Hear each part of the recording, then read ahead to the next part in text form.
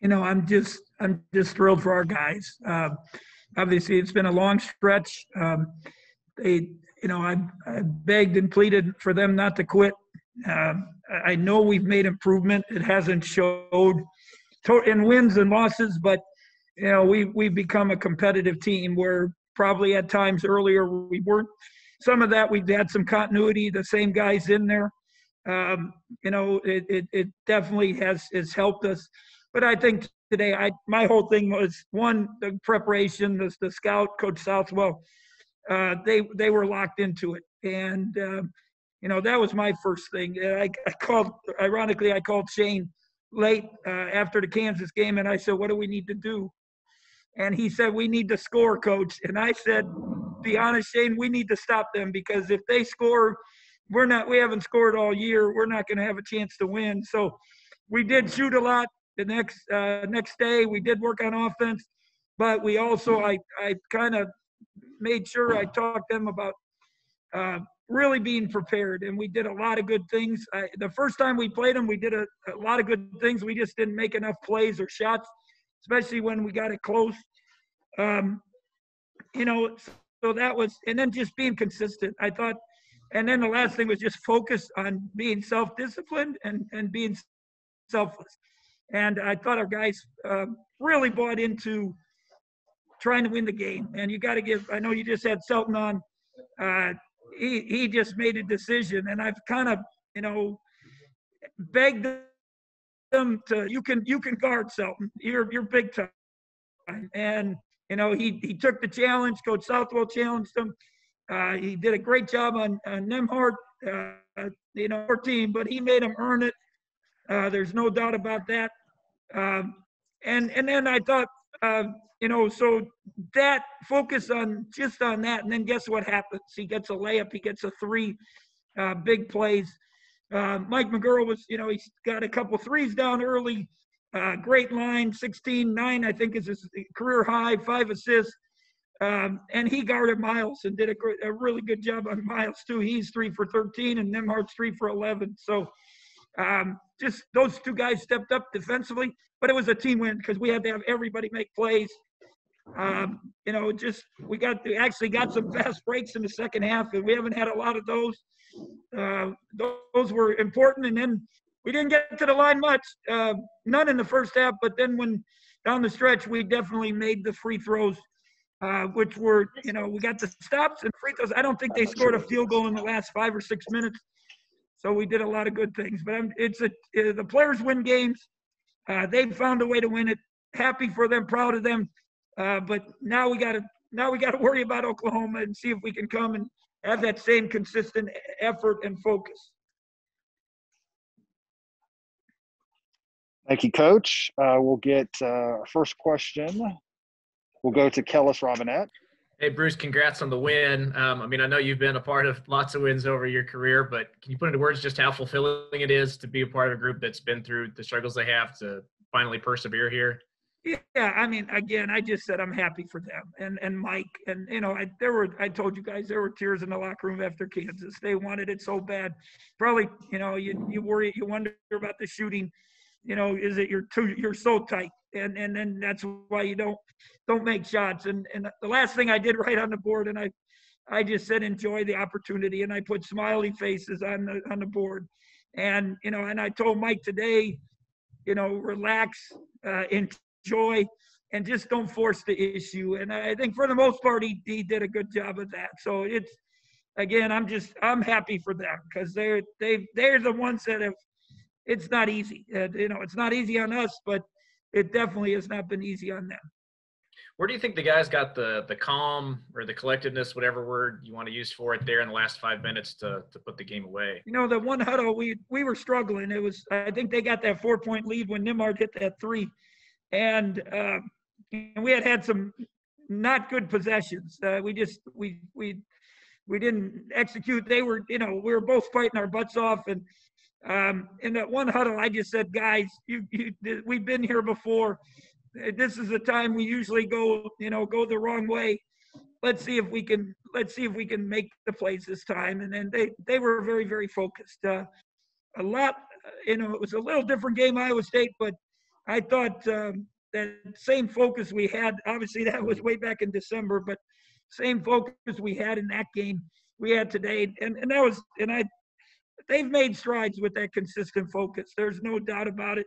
Playing hard, uh, doing the things that they need to do. It just it's too bad they took us. I you know I told you guys I told them, I, I you know I I don't want the season to end because they've they've finally started making progress. I told them that a week ago, and um, but I also want them to finish strong so they feel good about it. All right. Thanks, Bruce. Travel safe. Yep. Thank you. Next question to John Kurtz. Yeah, Bruce, I know you touched um, a little bit there on Selton's defense. Mike was in here and compared it to uh, basically as good a performance as he's seen in his time here, whether that's been Barry or, or X or any of those guys. Did, did you feel like it was on that level? I mean, it was pretty good because Nembhard's good and he frustrated him. He stayed in front of him. He was physical. Coach, uh, I said, Coach Southwell challenged him. We talked about getting into him and not going under ball screens and and then our, our big guys did a good job of being at the line of the ball screen. So they didn't, he didn't see space. He didn't see openings. And then we made him, you know, force kind of the issue, especially as the game got late. Um, and then when, you know, they, and, you know, he also switched and did some switching things that we had prepared for. So they were, they were locked in um, in a lot of ways. And then, as I said before, I, I, I keep telling them if your mind's in the right spot and your heart's in the right spot, good things happen for you. And guess what? Boom, he makes a three. And I, I don't know when the last time he made a three was. It, it I think Texas, maybe the first play of the game. But um, uh, you know, it, good things happen when your your heart and your heart and mind are in the right spots. You try to let a team in this scenario because it had been so long since they had won indulge more in this win than you might with with a normal team. I mean, we got we play Tuesday, so um, I know Oklahoma State's in a we're in a tough game. They had a big lead. Somebody said it was 45-41. I don't know where it is now. Um, uh, so I mean, we you know we'll get back tonight. Then we got to come back tomorrow and get ready. Obviously, it's a you know we a lot of guys play a lot of minutes. Um, you know, it's been a long season. Uh, you know, we've I've tried to shorten a lot of stuff. Uh, today was our shortest shoot around we've ever had. Um, so you know, we just tomorrow. It's just again, meant it's a mental preparation, getting ready for them. If you remember back, it was we were winning 22 to 17 at Oklahoma, and then that next stretch it just went the wrong way. And now we got to see if we can make the same improvement we made in some of these other games, and and push them to the limit again. Also, appreciate it, Bruce. Thanks. Thank you.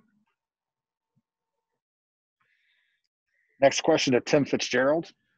Hey, Coach. Um, th- this has had obviously been a struggle, uh, but and Mike's really been not playing as well as he can. How good was it to see that that Mike, the team, not only got the win, but Mike was such a big part of this. Yeah, I mean it. it it's great for him. Um, you know, I he was one of the last ones. Him and DaJuan in the locker room after Kansas, and I I just and I uh, we've been really careful about uh, social distancing and all that stuff, but I just went and hugged him after that that game because I know how it hurt him, and I know how how, how hard he's worked and how he's tried to be a leader and how how he's had to endure this year. Um, so I, I just I, I'm thrilled for him. There's a now now just keep going. We're we're honoring him senior night on on Tuesday. Uh, you know we made the decision you know, we hope he comes back, but um, you know, I know football did the same thing. They honored every senior just in case they don't, so they get their recognition, them and the managers. But you know, hopefully he will, uh, you know, can you know use this as a nice uh, confidence builder, help him relax a little bit, and and have a great finish to the season.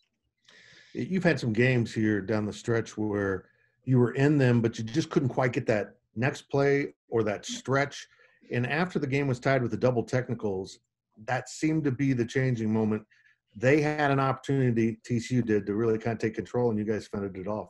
And and that and that's where we had. I I think I they, Wyatt and Stan told me that they did not score a field goal in the last five six minutes, and that's probably right. I don't know when that technical was, uh, if it, what what the time was, but um, it was uh, you know, after that, as you said, uh, we really locked in defensively. And now the only, uh, obviously, the only points they scored down the stretch were on, on the free throw line.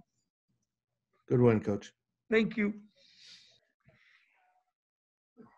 Uh, next question to Michael Goins. Yeah, Bruce, that was a 728 mark on the technical. What was the explanation you got for Mike McGuirl receiving a technical? Uh, it's called like he got into the mess and he got a contact uh, contact technical. Um, you know, I I don't know if he went in there other than maybe to clean it up, but he got into the. Um, I didn't see it obviously, but I was just worried about our other guys, and we were lucky that it was a timeout because we did our guys were trying to make sure nothing happens. but um, you know you can't go on the court, and and that that's that's probably the one bad rule you know, you got to make sure you're trying to protect your guys and make sure they don't do anything stupid. But then they're telling you to not go on the court. So, um, but it uh, that's what you know. That's what we were told. And our coaches told me what they saw. They saw him go in the mix and and bump somebody.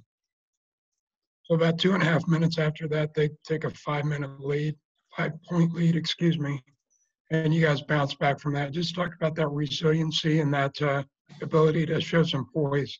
Yeah, you know, they again, I I told them you know, we've been here before, and when we we've got we were we had a it was a three point game the first time we played them. It was a four point game.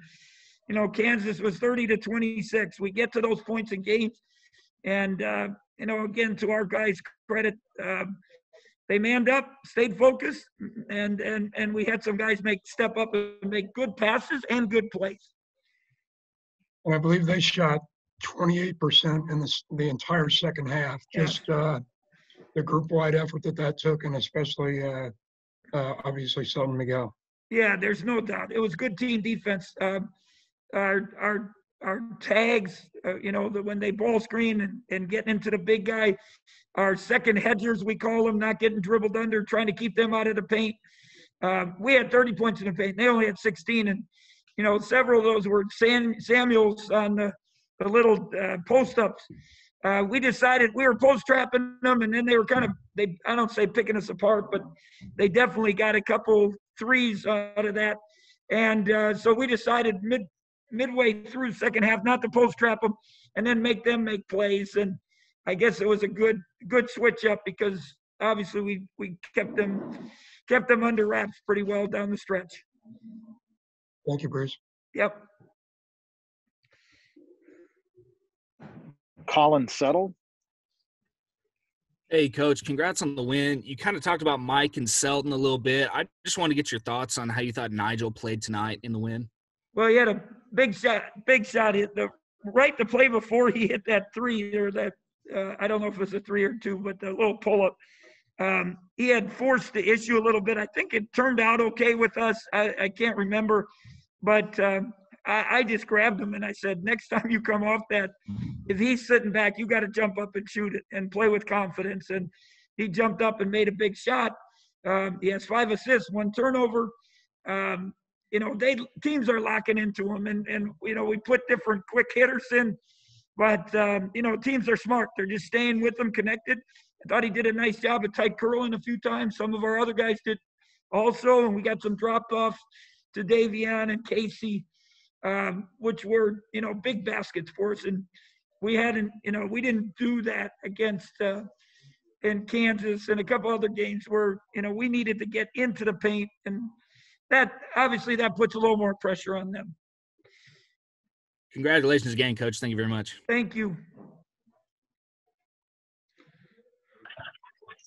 Uh, next question to Kellis Robinett.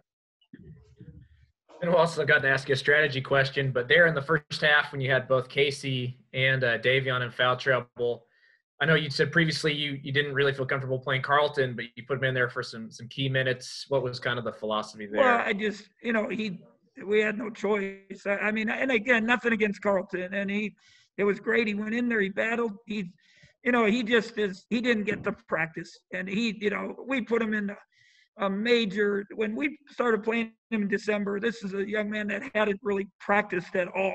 And, and, and he, you know, he's just trying to catch up with everything. But you know, again, he goes in there and plays. You know, the three his three minutes. It, it was important to us.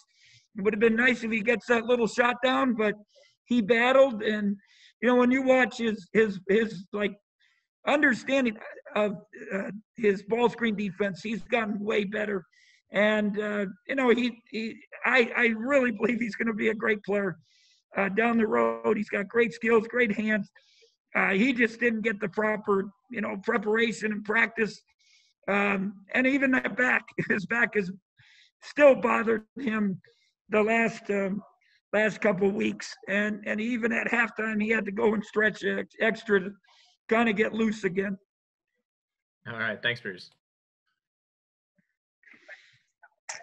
Uh, last question to Ryan Black. Hey, uh, Bruce, I'm sure you're as well. You're as aware of this as anybody. Is that you know TCU uh, entered this game as the worst free throw shooting team in the conference. Yeah. You see And then they go 20 to 23. I, I was going to ask this like, were, were you just kind of like, have you you got to be kidding me, right? That's kind Yeah. of what you're thinking as they kept making shot after shot. Yes. Um, you know, you just, you know, we seem to get, I saw Tyreek Smith from uh, uh, Texas Tech. He, you know, he jumps up and makes a three. I see him on TV today while we're getting re- dressed. He shoots a three at Kansas. He doesn't make it. And, you know, it just seems like, you know, not everything has always gone our way. Uh, but, you know, even with them making those free throws, we, we had to fight our way to get a win. And that's, that's the best thing for our guys. And, you know, the one thing I wanted to just kind of, you know, Kellis had asked, the big thing I talked about with Carlton and Surrey, that it's tough for them to guard the four man because most people don't, um, you know, play so small. And, you know, in this case, TCU plays small ball, spreads you out. Kansas is playing four guards. It makes it really tough for those guys, you know, to be out on the court. And that's where I said I didn't feel comfortable. It's comfortable with them out on the court defending at that four spot.